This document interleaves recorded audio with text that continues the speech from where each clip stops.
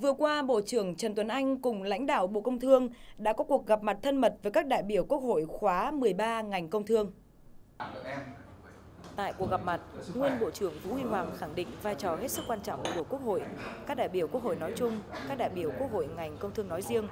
trong những thành quả to lớn ngành công thương đạt được. Trong nhiệm kỳ qua, ngành công thương đã đạt được những thành tựu quan trọng từ việc xây dựng khung khổ pháp luật đến công tác đàm phán, ký kết các hiệp định thương mại tự do và hội nhập kinh tế quốc tế. Đồng thời, cũng thẳng thắn chỉ ra những tồn tại hạn chế trong thực hiện nhiệm vụ được giao của ngành công thương trong nhiệm kỳ qua.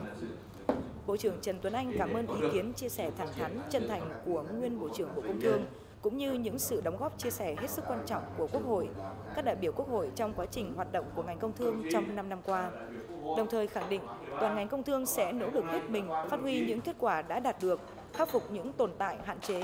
để góp phần vào phát triển kinh tế xã hội của đất nước.